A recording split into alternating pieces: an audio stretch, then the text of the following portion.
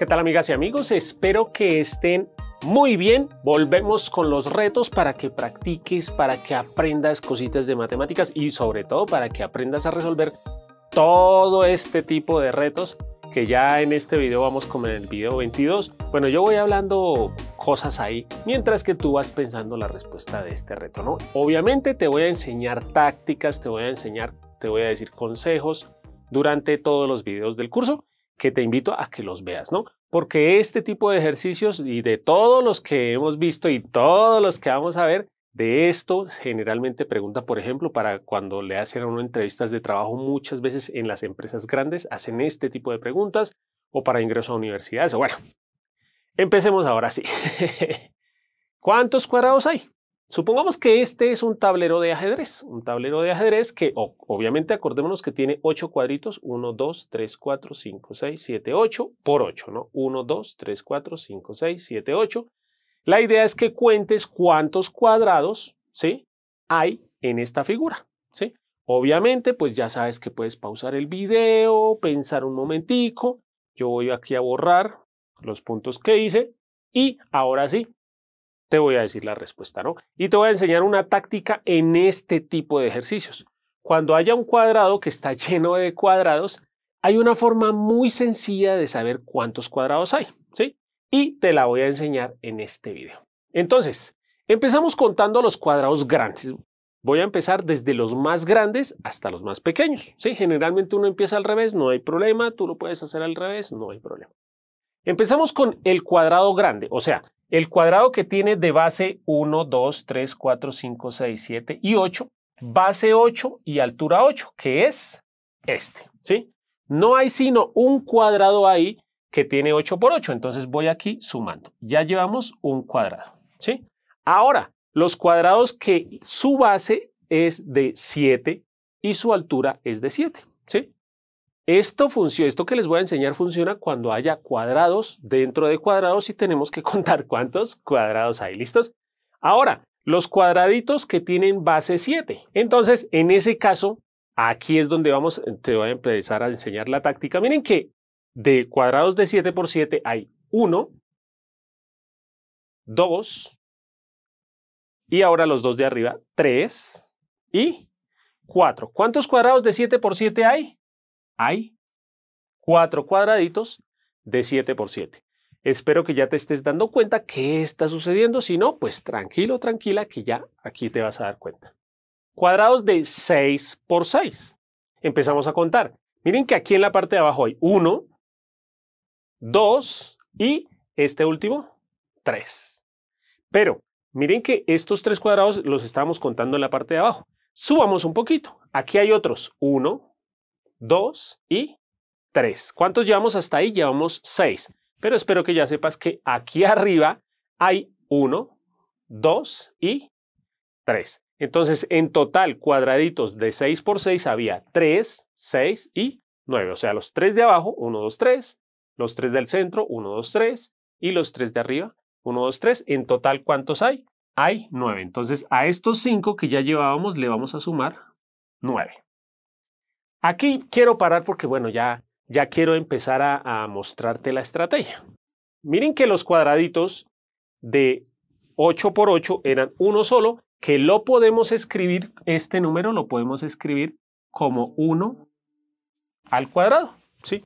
1 es lo mismo que 1 al cuadrado, ¿sí? Esto para que sepas cuántos cuadraditos caben. Más 4, pues se puede escribir como 2 al cuadrado más 9 se puede escribir como 3 al cuadrado. No cometas el error de los estudiantes que dicen que 3 al cuadrado es 6, ¿no? Eso es un error. Espero que ya sepas que pues 3 al cuadrado es 3 por 3, que es 9.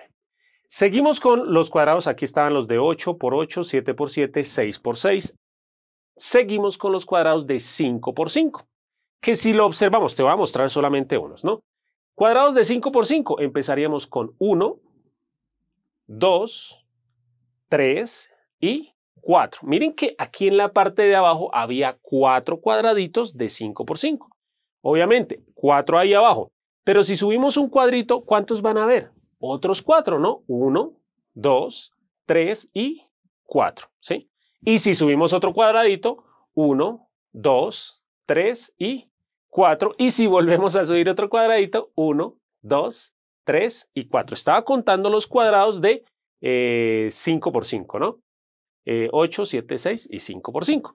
Entonces, ¿cuántos cuadraditos de 5 por 5 había? Había 16. Sí, espero que tú los estuvieras enumerando y ya sabemos por esto que te estoy enseñando que 16, pues miren que también correspondería a 4 al cuadrado. ¿Sí? Y ya, ya no voy a seguir con la explicación. Ya espero que tú sepas que obviamente estos son los de 8 por 8, 7 por 7, 6 por 6, 5 por 5. Los de 4 por 4, ¿cuántos van a ser? Van a ser 25, que son 5 al cuadrado. Los siguientes serían 36, que va a corresponder a 6 al cuadrado. ¿Sí? Obviamente ya sin contarlos, ya con esta estrategia, y tú los puedes contar y vas a ver que sí, efectivamente son estos, ¿no? 8 por 8, 7, 6, 5, 4, 3. Ahora los de 2 por 2, ¿cuántos saldrían? Saldrían 49 que corresponde a 7 al cuadrado. Y por último los de 1 por 1 que pues serían estos, ¿no? Este es 1, 2, 3, 4, 5, 6, 7, 8. Y más arribita otros 8 y otros 8 y otros 8 para un total de 64 cuadritos de 1 por 1 que eso es 8 al cuadrado. Entonces, de ahora en adelante, si tú ves un ejercicio de este tipo, ya sabes que simplemente sumas los cuadrados. Obviamente, tendríamos que realizar esta suma, entonces, pues, pues esa ya la debes poder hacer, ¿no? 1 más 4 más 9 más 16 más 25 más 36 más 49 más 64, que eso es, yo por aquí tengo la suma porque pues, o más bien aquí miremos en las respuestas, ¿sí? La respuesta es que esta suma nos da 204 cuadraditos. Y ya con esto termino mi explicación, pero ya eh, en videos anteriores de estos retos, eh, muchos de ustedes me han pedido, profe, déjenos ejercicios de práctica en estos retos también, y yo hago lo que ustedes desean. Entonces, aquí como siempre, por último, te voy a dejar un ejercicio para que tú practiques lo que vimos en este video. ¿sí? Un cuadrado más pequeño. La pregunta nuevamente es, ¿cuántos cuadraditos hay ahí dentro de esa figura? Ya sabes que puedes pausar el video y la respuesta te la voy a decir en 3, 2, 1. Bueno, espero que te haya parecido sencillo y que veas que en estos videos de retos estamos aprendiendo cositas que necesitas y que muy probablemente vas a utilizar. Además, pues que nos estamos divirtiendo. Espero que te estés divirtiendo, que estés relajándote. Bueno, dejo de hablar tanto, ¿no? Nuevamente, entonces, cuadrados grandes sería 1, Cuadrados de 3 por 3 serían 2 abajo y 2 arriba. Cuadrados de 2 por 2 serían 1, 2 y 3. Otros 3 arriba y otros 3 más arriba para un total de 9. Y bueno, los últimos que serían 4 al cuadrado, pues que es 16. Si hacemos la suma nos da 30.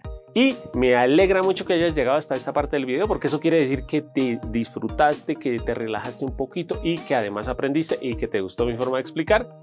Si te gustó, te invito a que veas todos los retos que te tengo preparados para que practiques, para que te diviertas. Aquí también te dejo algunos videos que estoy seguro que te van a servir. No olvides comentar lo que desees, compartir este video con tus compañeros y compañeras, suscribirte al canal, darle like al video y no siendo más. Bye bye.